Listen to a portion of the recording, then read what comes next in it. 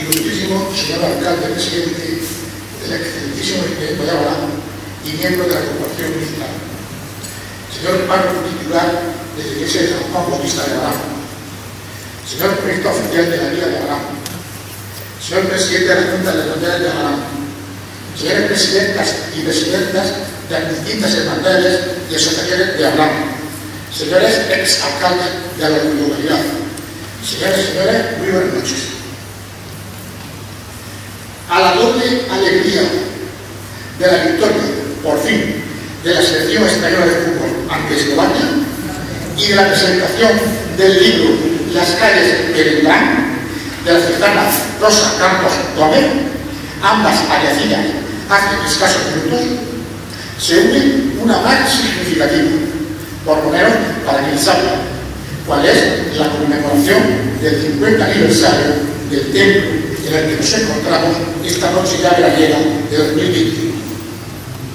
La iniciativa arranca en enero de este mismo año, cuando telefoné a Pepe Jacas, persona que viene confiando en mí desde hace 30 años en aventuras como el peligro de la gloria, los cursos ahora acercamiento a maternidad, el actual proyecto que presentamos esta noche, o el del próximo sábado con la inauguración del reloj de San Pablo que alternativa venían varios días. Pues bien, varios, varios años, perdón. Pues bien, le comento que la Iglesia cumple 50 años y le propongo la publicación de un libro sobre tal acontecimiento. Su respuesta, como no creo que la segunda manera, es afirmativa. Y además seguido me reúno con el señor párroco de la Iglesia de San Juan Bautista para conseguir su implicación y le darle la idea que estuve nos ponemos en marcha. Me van a permitir que me detenga un instante en la figura de José Señor Carranco Molina, de Bejaras, persona muy culta y comprometida con su pueblo, abarreno de pro, cronista oficial de la vida y colaborador desde hace 40 años con los distintos gobiernos locales en todo tipo de manifestación cultural y social y ahí están los alcaldes y respectivos concejales de Cultura para ratificar.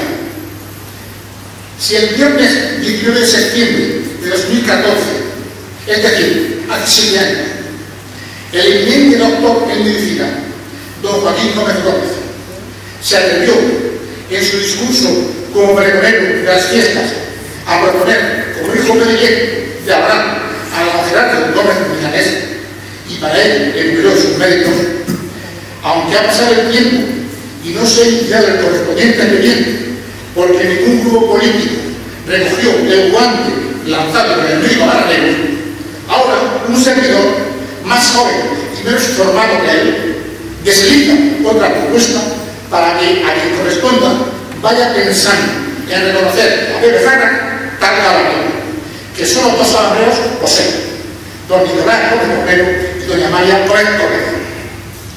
Pero los reconocimientos mejor en vida y no porque haya fallecido, que lo homenajearon, que aquí son votados a esta última circunstancia. Pero volvamos a lo que nos ha traído esta noche a reunirnos en este libro. El libro que presentamos nos hará reflexionar sobre el papel que ha desempeñado la Iglesia de San Juan Bautista en el devenir diario de esta localidad y qué, y qué misión han desarrollado y siguen desarrollando sus sacerdotes en la formación religiosa social de nuestras vidas. Sus catequistas, sacristanes, personal administrativo y del coro, y como no, de los fieles que acuden para rezar, orar y pedir a Dios. Hay personas que aparecen en el libro que han dedicado toda su vida a esta parroquia y merecen el mayor elogio por tan desinteresada y altruista La luz pública del libro es motivo de satisfacción por todo lo que rodea al mismo. Un pueblo sin cultura es un pueblo sin futuro. Pero la cultura no es solo escribir y presentar un libro, organizar un concierto de música o un pregón y atender las reivindicaciones de las asociaciones y colectivos. La cultura y la educación tienen, que extenderse a otros ámbitos, como concienciar a los ciudadanos a no arrojar con ellas y escucharlas a la vida pública, a no destrozar el mobiliario urbano, a ceder las aceras nuestra calle a los mayores y a no entorpecer el tráfico que daría el doctor Molina para realizar gestiones de todo conocemos, así como no, a no sacar la basura ahora en Y esto es tarea de todos, y no solo de los políticos de turno, pues nos estamos jugando el futuro de un pueblo que está cayendo a cada año y que requiere progresar más allá de la alta. Que me gusta pronunciar a menudo a mis amigos Jaime Correro y Pérez. Y ahora, en materia de agradecimientos, gracias eternas a los Juan Hurtado, creador e impulsor de esta iglesia, por regalarnos esta maravillosa obra a base de sudor, lágrimas, dinero y trabajo incansable. Gracias, don Vicente, por permitirme el acceso a su estudio tan famoso aniversario de Murcia, el mismo en el que trabajó y enseñó hace ya más de 50 años este mismo edificio. Gracias, don Alberto, por atender nuestras peticiones y por su implicación en esta comunicación que ha sido, dos veces. Gracias a todos los curas que han colaborado en este libro, en especial a la familia de nuestro querido sacerdote, don Francisco García cuya presencia aquí esta noche nos honra. Felicitación que hago expresiva también a don José Miguel Hidalgo, que el próximo sábado celebrará su boda de oro sacerdotal.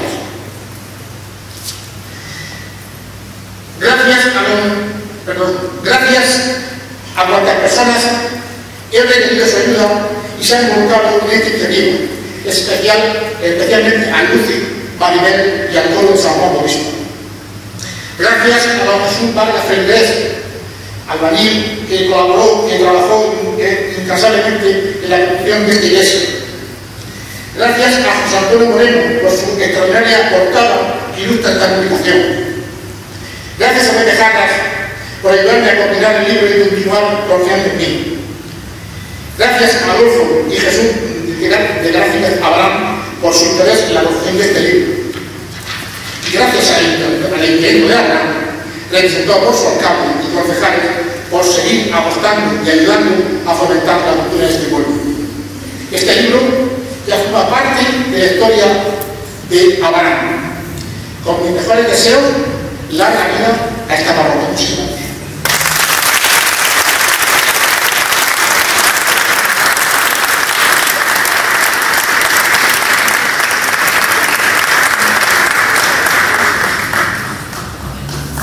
Seguidamente toma la palabra el proyecto oficial de la vida.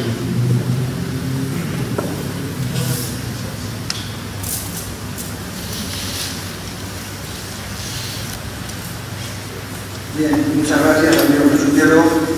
Eh, todo corazón, el gran problema de Jesús Diego es que todo corazón, y claro, esa, esas palabras mías, si las pasara por la razón, seguramente por el camino de la razón, no, no, le agradezco de corazón porque sé que lo dice con sinceridad, aunque yo no merezco mucho menos lo que él cree que merezco. El señor alcalde, miembro de la Corte Municipal, el señor cura párroco, queridos amigos y amigas, en cualquier conmemoración, celebración aniversario se programan siempre diversas actividades de muy distinto tipo. Pero al final, lo que queda para la posteridad es el libro. Es por eso, por lo que, haciendo gala a nuestra bien ganada fama de soperos, pero de los soperos activos, Jesús Hielo y yo, le propusimos, como lo dice el párroco don Alberto, la idea de esta publicación que hoy presentamos. Y él aceptó y nos dio gustoso su consentimiento. Y hoy es una realidad. Han sido 50 años muy intensos los de esta parroquia. Sus comienzos, como todos, fueron complicados.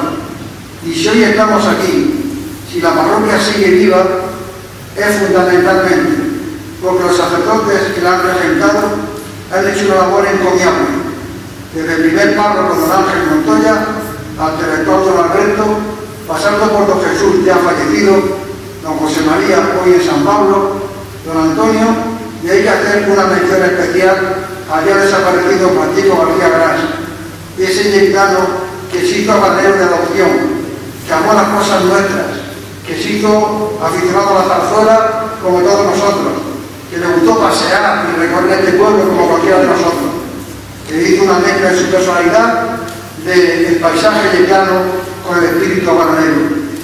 Y con 25 años de estancia, nada menos en esta parroquia, ha sido el párroco que más tiempo ha estado en este pueblo destinado.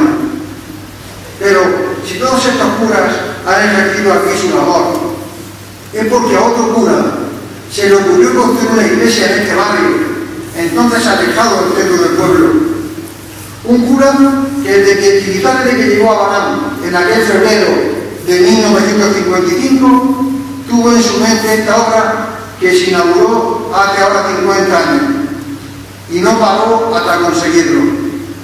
Un cura que no quiso levantar en este sitio una nave con tejado de granita y una luz en la cubierta, sino que levantó una obra de gran valor arquitectónico del prestigioso arquitecto don Vicente Garber, quien antes había diseñado el laboratorio Hortel por encargo de don Pedro García, a quien tanto debe también esta iglesia y este pueblo, pues él era, como lo dijo don Antonio Lleno en su entierro, el bolsillo de don Juan.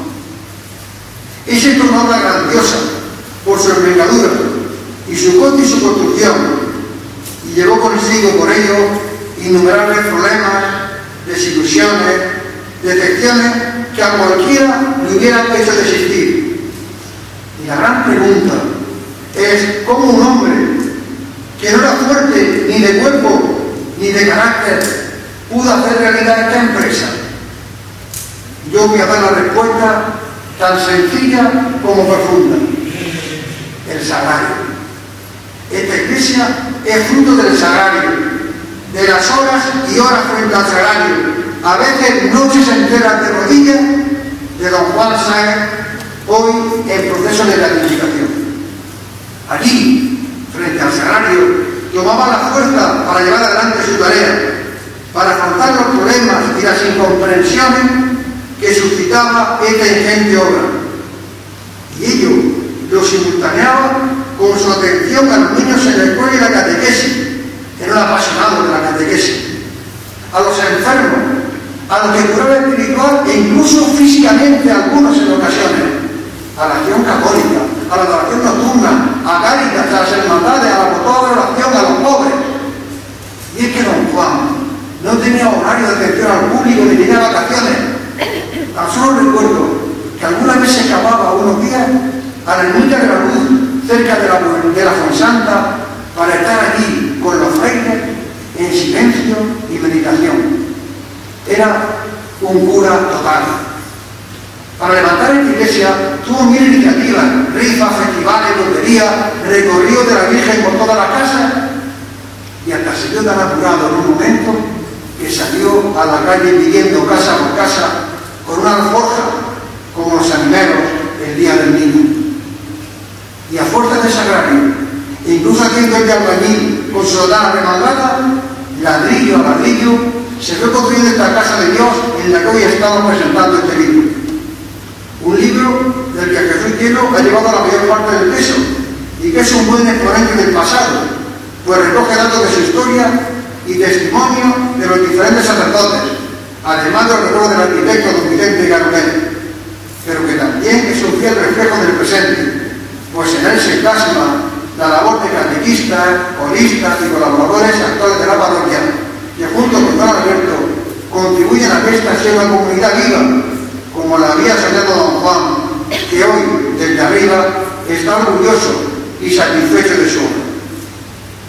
Mirando al futuro, solo deseo que dentro de 25 años todos nos vamos a ver bajo esta cubierta, frente a este sagrario, conmemorando el 75 aniversario de una parroquia que comenzó siendo un sueño casi imposible y hoy es una gozosa realidad. Muchas gracias.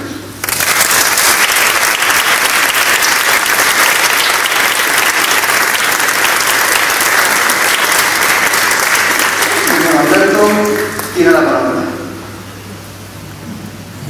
Bueno, como decía mi abuela, ese sería un cura de verdad y no un rotadora. Don Juan. Es verdad, rotadora somos de otra manera. Mira, 50 años de esta iglesia. Se hacen muchas estadísticas, ahora que van a llegar las vacaciones, ¿cuál es el edificio más visitado de Francia, de tal, de cual, de tantos millones de habitantes, tantos millones de visitantes? Bueno, pues la parroquia de San Juan, como la de San Pablo, es el edificio Banano. Y no por turistas, sino por la bananera. Creo que lo visitan más que el ayuntamiento. Porque el ayuntamiento se va, pero cuando hay que ir, cuando hay más remedio. Así que si alguna virtualidad característica tiene la iglesia o la parroquia, es que son la casa de todos. Es decir, que es el edificio que todos visitamos antes o después y que lo percibimos como un lugar donde uno entra a su casa. ¿Eh? En la casa de todos los cristianos que alguna vez, es más o menos practicantes, más o menos creyentes, celebramos aquí sacramento. Sacamos la estadística de todos los bautizos, los cientos, cientos, miles de bautizos que ha habido en 50 años, eh, comuniones, confirmaciones, entierros, bodas, etc., pues veíamos que al final todo y cada uno de los apaganeros más de una vez, dos y tres han transmitido. Por lo tanto, nos deberían de dar, ya que estamos hablando de premio, el premio de excelencia turística uno de los monumentos más visitados ¿eh? de este pueblo. Pero aquí no se viene de visita, ni se viene a hacer turismo. Aquí se viene a celebrar. Una iglesia es para celebrar la fe, para celebrar momentos importantes en la vida donde queremos que Cristo esté presente y nos dé su bendición. La virtualidad de la parroquia es esa, es la casa que el Señor quiere poner en medio de su pueblo para que tengamos un lugar donde contarnos con Él. El cura es lo de menos, los que colaboran es lo de menos. Lo importante es que esta casa está aquí y esa puerta está abierta y siempre que queremos podemos entrar a rezar, a celebrar, a pedir, a quejarnos, a hacer lo que uno quiera ante el Señor, sabiendo que aquí está su casa abierta eh, todos los días y que tiene un lugar donde podemos ir a encontrarnos. Ahora, en el año 70, es progresar y por eso se decidió hacer eh, una nueva parroquia. Bueno, Juan lo ha explicado Nunca nadie ha explicado que meter aquí eh, un, un alfiler. ¿Por qué si se va a hacer la primera constitución, luego al final se toca ir a sea esta? Pero bueno, eh, nunca sabemos por qué lo cambiaron aquí la segunda constitución si estaba afectando la cosa. O en sitio, me han dicho dónde estaba el chino. Por ahí, por ahí. Y eso que había sido un buen sitio, como uno por el otro, justo en el centro. Pero parece que a le engañaron o algo y al final lo trasladaron aquí pensando que se iba esto a, ampliar un poco más o que se iba eh, a el pueblo ampliar esta avenida. No ha pasado así, pero aún así el camino que lleva el fruto es más transitado. ¿eh? Porque al fin y al cabo no importa dónde esté la parroquia, ni importa los años que tenga, sino que nos sintamos como nuestra casa cada vez que venimos a ella. Y eso es parte del cura, sí, pero sobre todo, y esta es la razón por lo que quería que se haga este homenaje de este libro, de todos los obreros de manera que durante 50 años han estado aquí haciendo de todo, limpiando, fregando, cantando, en catequesis, riendo, llorando con sus niños, con las niñas. ¿eh? Y esos son los que se merecen el homenaje. Y es por ellos por lo que va a este libro. Porque son ellos los que dado la vida a esta parroquia, a esta iglesia, y son ellos por los que se pueden considerar los verdaderos dueños y señores de todo.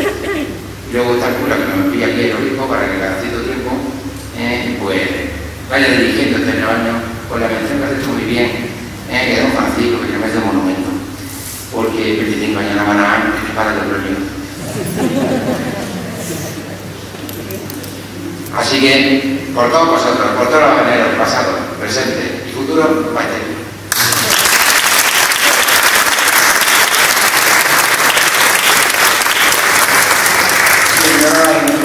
de Fray Hernán va a tener que la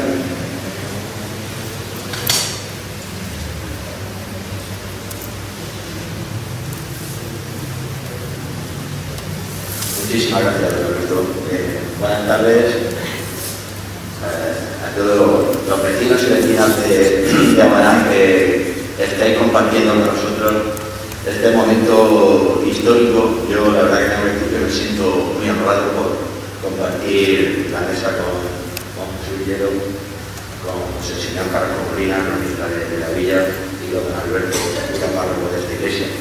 Se cumplen 50 años desde que Juan se ha disfrutado como artífice de esta iglesia, eh, encomendara ese proyecto a don Vicente Garolet, como ha comentado antes nuestro cronista de la villa, en una iglesia moderna, innovadora, diferente, y que seguramente tendría muchas dificultades para poder encajar este volumen arquitectónico en un espacio relativamente como es a la espalda del cabeza del cuartel y enfrente de la parte de, poniente del cabeza de la. Eh, un reto arquitectónico resuelto de manera magistral, en la iglesia un estilo eh, realmente singular, te recuerda a un abanico que se abre como, como las puertas de la iglesia que se abren al pueblo. Y 50 años después, pues estamos aquí celebrando ese momento histórico en las palabras que, he tenido a bien compartir en este libro, respondiendo amablemente a a la propuesta que me trasladaron tanto José Quiero como, José Carrasco, como coordinadores de este libro, tengo que decir que hago una pequeña reflexión sobre los valores que, entrañaba don Juan, esa persona humilde que eh, se valió el respeto y el, respaldo de todo un pueblo, de toda la sociedad. y él representa precisamente ese pasado aunque yo también quisiera tener palabras de reconocimiento por el presente, el presente es eh, el cura párroco de Alberto, verdadero artífice de que se haya podido arreglar el pórtico de la iglesia, que tanto esfuerzo ha costado. Eh, somos conocedores del procedimiento, puedo, puedo, decir que somos conocedores de lo difícil que ha representado, pero bueno, aquí tiene, una representación del equipo de gobierno y de toda la corporación el Ayuntamiento es la casa del pueblo, está en la casa de, los cristianos. El Ayuntamiento es una institución civil, administrativa, es una institución eclesiástica y tenemos que coordinarnos, tenemos que colaborar, porque solo de esa manera podremos hacer frente a las grandes dificultades que se nos avecinan. Y termino haciendo una pequeña reflexión. Eh, esta pandemia se ha llevado la vida de muchas personas, por desgracia también de nuestro municipio, pero lo que no se puede llevar es la solidaridad, empatía, el la tolerancia. Y esos ingredientes tienen una vacuna, una vacuna muy importante y es la fe, la fe y la palabra cristiana. Yo simplemente quería eh, terminar haciendo esta reflexión, agradeciendo poder vuestra presencia y con un libro que va a formar parte, por supuesto, de la biblioteca municipal de Muchísimas gracias y 50 gracias.